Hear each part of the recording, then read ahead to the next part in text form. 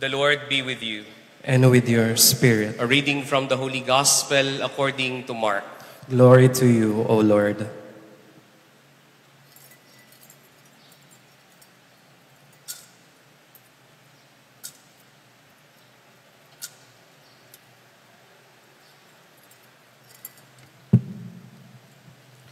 The beginning of the Gospel of Jesus Christ, the Son of God.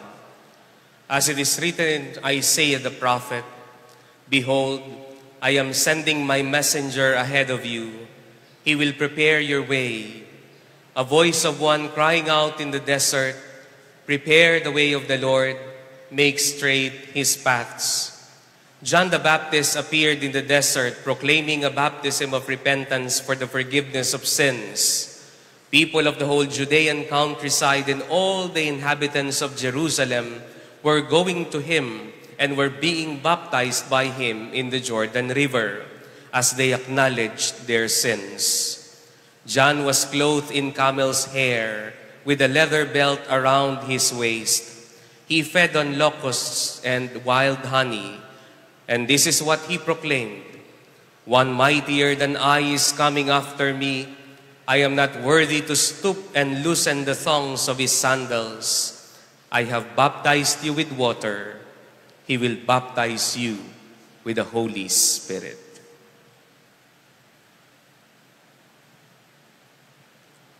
My dear brothers and sisters, the Gospel of the Lord. Praise to you, Lord Jesus Christ.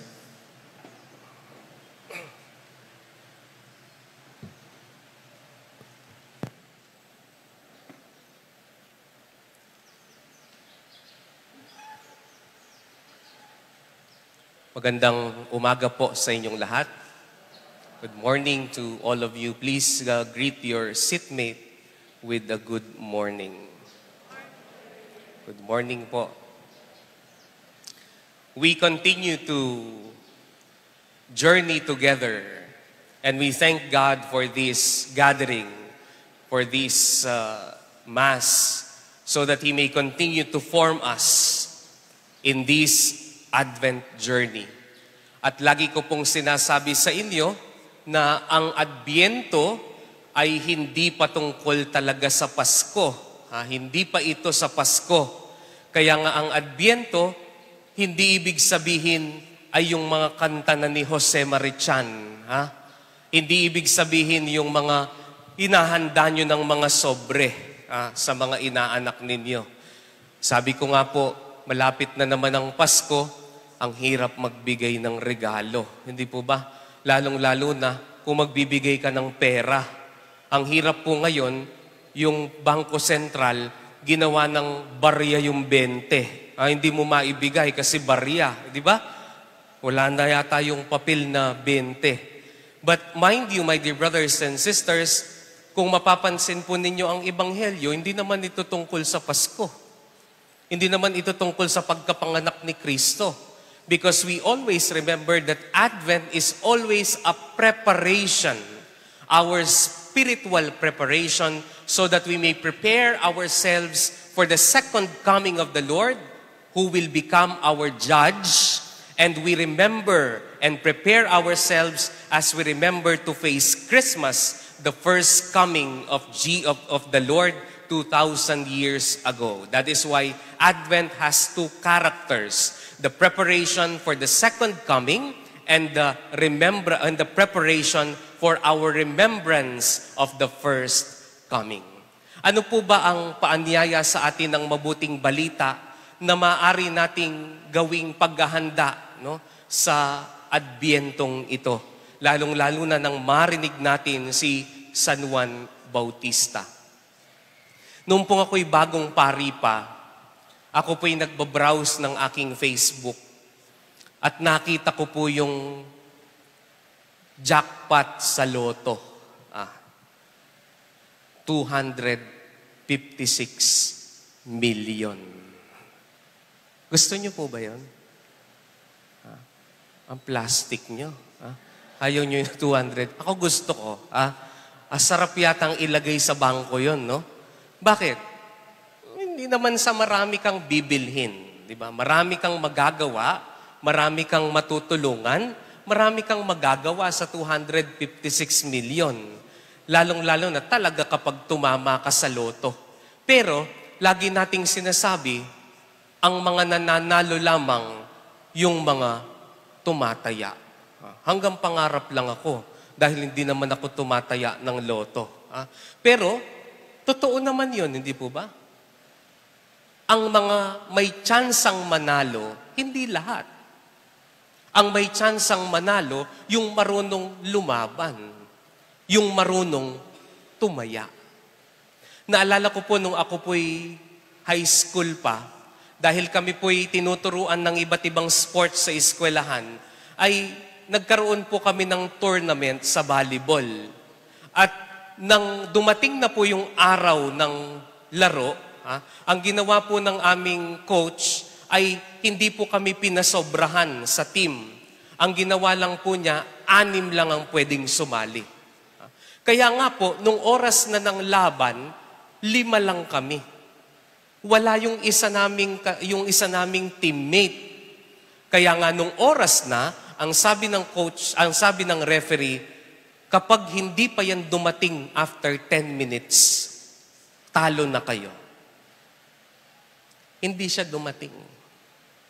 Kaya kahit hindi kami lumaban, talo kami. Ang tawag po doon sa English ay losing by default. Losing by default means you did not even fight. That is why you lose. Hindi ka lumaban, kaya natalo ka. Ang mga nananalo lamang, yung mga lumalaban. Mga kapatid, ngayon po'y narinig natin sa Ebanghelyo ni San Marcos na si San Juan Bautista ay nangangaral ng pagsisisi ng kasalanan. Hindi lang po ito sa pagsisisi, kundi sa paglaban sa kasalanan, sa paglaban sa tukso. Alam niyo po kapag po tayo'y nangungumpisal, hindi lang po yung pinapahayag natin yung kasalanan natin so that God may forgive us. It also requires what? Our resolve to move away and fight temptation. Alam niyo po si San Juan Bautista, bago po siya muling lumabas sa bayan ng Israel. It was 400 years after Prophet Malakay. Pagkatapos po ni Propeta Malakias, 400 years hindi po nagpadala ng propeta ang Panginoon dahil sa katigasan ng ulo ng bayan ng Israel. Dahil sa katigasan ng kanilang ulo at sa kanilang mga kasalanan na nahimik ang Diyos at hindi na nagpadala ng propeta. 400 years without a prophet. But now John the Baptist is here after 400 years. Kaya po king kapampangan, meniglola rening tao, atin tamong bayong propeta, magsalita ya tungkol king apong gino. But what does he preach? Repentance.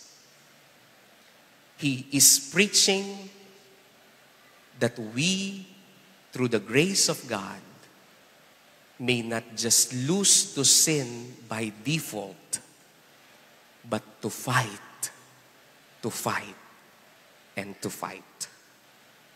My dear brothers and sisters, all of us are sinners here.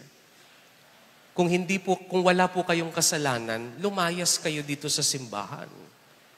Ang mga nandito lamang ay yung mga nagtatry sa kanilang sarili, sa kabila ng kanilang kahinaan, alam natin na kailangan natin ng Diyos. Kaya nga tayo ay lumalapit sa Kanya. Pero akala natin ang paglaban sa tukso ay yung panalo at talo. Totoo po, mahalaga yung manalo tayo laban sa kasalanan, laban sa tukso. Pero tinitignan din ng Diyos sa atin na kahit na minsan ay tayo'y nadadapa sa kasalanan, tayo sana, kahit na tayo ay natalo, sana tayo ay lumaban. Ang tukso at kasalanan, parang pagtulog lang yan ng masarap. Yung mga magulang po dito, alam nyo yan. Yung mga may edad na po dito, kahit anong gawin yung pagtulog ng late, magigising pa rin kayo ng maaga. Di po ba? Kaya nga po alam nyo na edad ninyo eh. Ha?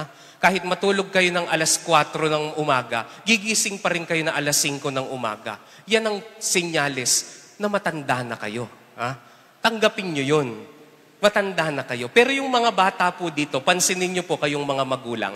Kapag papasok po yan, kung halimbawa magigising po sila ng alas 5 bago po sila pumasok ng eskwela, mag-a-alarm po yan.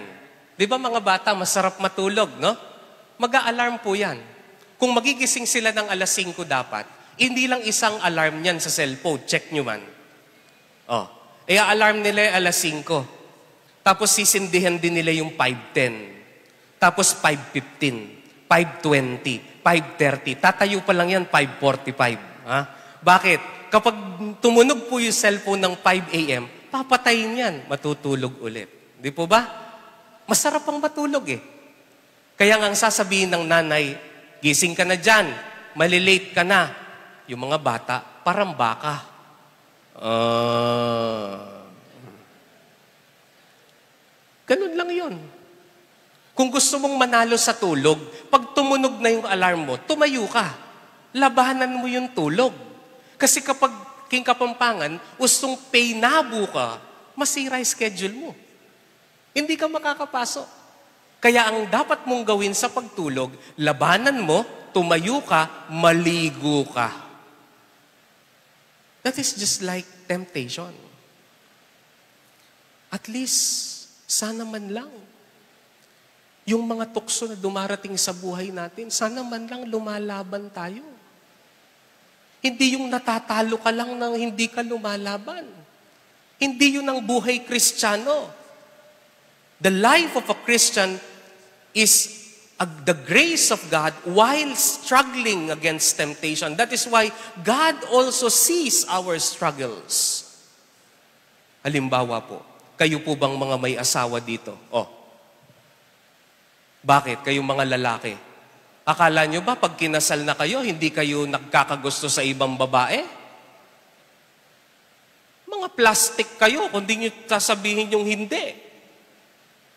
Bakit kayo mga babae, kapag bakit pagkatapos nyong kinasal, hindi kayo nagkakagusto sa ibang lalaki?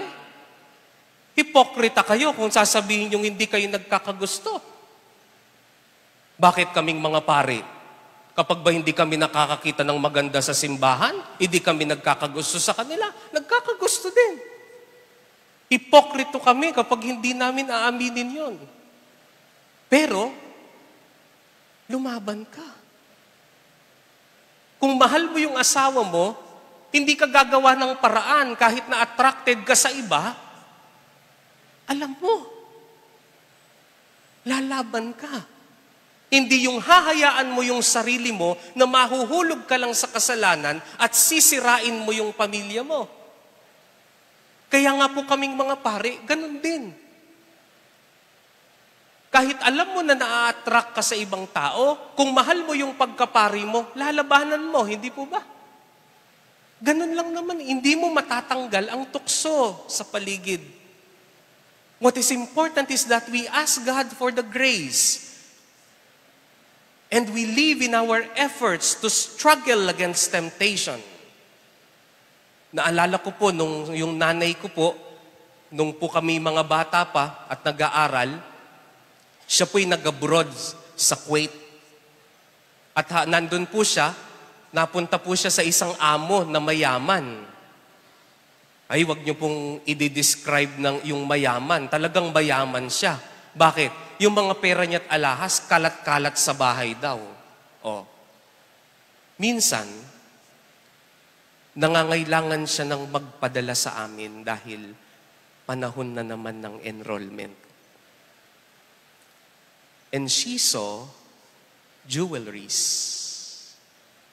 doon sa mesa at isang bungkos ng pera.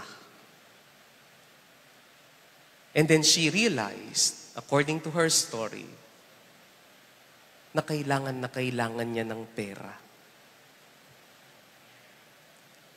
But then she also realized that if she will not fight the temptation of taking the money and the jewelry, she will lose her job. She will stop sending us money. Ang sabi niya noon sa amin, kundi ako siguro lumalaban sa tukso, hindi kayo natapos. Madali lang ang magnakaw. Madali lang ang mambabae. Madali lang ang manlalaki. Madali lang ang kasalanan. At kahit gaano pa kalaki ang kasalanan, pwede mong sabihin sa sarili mo, hmm, kaya ko yan eh. Pero mahirap ang lumaban. Pero sana kahit gaano kahirap, lumalaban ka. Kayong mga estudyante, ang lagi ninyong sinasabi, hindi ka naging estudyante kundi ka ng opya. Di po ba? Napakadali. Hindi ka naging estudyante kundi ka ng daya. Napakadali. Pero sana marunong kang lumaban. Papaano ka lalaban? Mag-aral ka ng mabuti. My dear brothers and sisters, our struggle against sin is not only about winning and losing. Our struggle against sin is also about fighting. Bilang panghuli po, nung ako po'y nasa previous assignment ako, meron pong isang lalaki na 50 years old na lumapit po sa akin. At sabi niya sa akin, Father, gusto kong maging tapat. Kapag po ako'y nakakakita ng malaswa sa aking cellphone, hinahayaan kong mahulog yung sarili ko. I continue to browse and look for sexual videos. But Father, I love my family. Meron po akong dalawang anak. Ang sagot ko lang sa kanya ay, sa iyo na mismo nang galing. May tukso kang pinagdadaanan at mahal mo yung pamilya mo. Mamili ka. Yung pagmamahal mo sa pamilya mo o yung tukso kung saan ka nagpapahulog. Nakalimutan ko na po yun, yung pag-uusap namin. Kaya po pagkatapos ng ilang buwan, lumapit po siya ulit sa akin. Pinagmamalaki niya po yung bago niyang cellphone. At ang sabi niya sa akin, Father, tignan niyo tong cellphone ko, bago. Sabi ko, eh, luma. Ay, bago yan, Father. Kakabili ko lang kanina niyan sa SM. 800 nga lang yan, Father eh. Bumili po siya ng bagong cellphone. Yung black and white. Yung dekipad. Yung walang internet. Yung kapag nagte-text ka, pindot-pindot ng ganun para makuha mo yung letra. Di po ba? Sabi niya sa akin, ang mahalaga lang naman, Father, yung makatext ako at makatawag. Kaya ito siguro yung paraan ko. I cannot anymore browse the internet. I cannot anymore see temptation. Brothers and sisters, the best preparation this Advent is a heart that struggles and fights against sin. And always remember that our, our struggle against sin is not, a, is not just about winning or losing. It's also about fighting. At least kahit minsan ay natatalo tayo sa tukso at kasalanan, alam ng Diyos, lumaban tayo. Amen.